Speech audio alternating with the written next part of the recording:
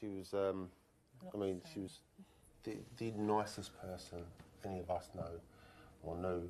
Everything about her was about being kind and good and thoughtful and that Even if she others. didn't want to do it, she'd do it for you. Um, and it's just uh, she. There's just no way that uh, you could you could do this to a nicer person. I mean, really, everybody's going to say that about their own kids, obviously, but really, look look what everyone's saying on the other interviews and stuff. She really was just the nicest person ever, and she wouldn't have done anything to deserve this. No way, she wouldn't have done anything to deserve this. So, I just hope, you know, someone knows who did this yeah. somebody knows who did this. Just do the right thing.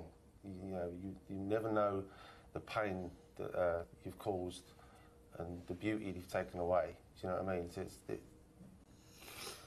they've destroyed something beautiful here, and, uh, it's just a disgrace. And just just plead to somebody who knows about this.